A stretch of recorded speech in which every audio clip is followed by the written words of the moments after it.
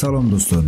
Имрӯз мо дар бораи яке аз ситораҳои машҳури тоҷик ки дар яке аз садамаҳои нақлиёте фавтид баҳром ғафуре ҳарф мезанем ба шабака обуна шавед азизон. Овозхони маъруфи тоҷик баҳром ғафурӣ 29 феврали соли 1976 дар деҳаи мавлонои ноҳияи рудаке таваллуд шудааст. Дар кӯдакӣ ӯ се бародар ва ду хоҳар дошт вай солҳои навадум оиладор шуда соҳиби ду писар анушервон ва эҳсон мебошад. Баҳром ғафурӣ бо шарофати суруди умри ман меравад машҳур гаштааст аммо ӯ аввалин суруди худро ки парешон шудаи айдил ном дошт дар соли аввали таҳсилаш дар донишкадаи санъат хондааст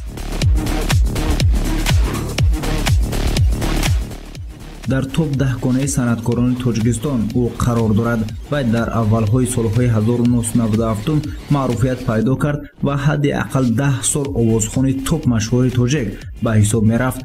овозхон субҳи 7 августи соли 2020 дар натиҷаи садамаи нақлиётӣ ин ҷаҳонро тарк кард ва дар зодгоҳаш деҳаи мавлоно ба хок супорида шуд ки ҳоло аз ӯ чор писар боқӣ мондааст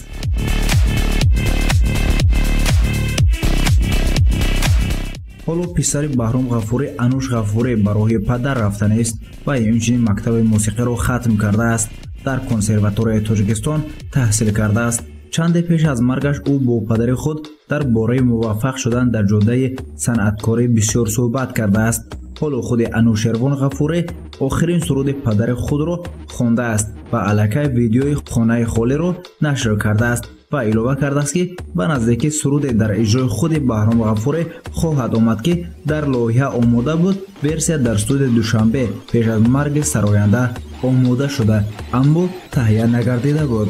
عزیزان آخران سرود بهرام غفوری را انتظار می شویم و حتما عزیزان دل تماشا خواهیم کرد.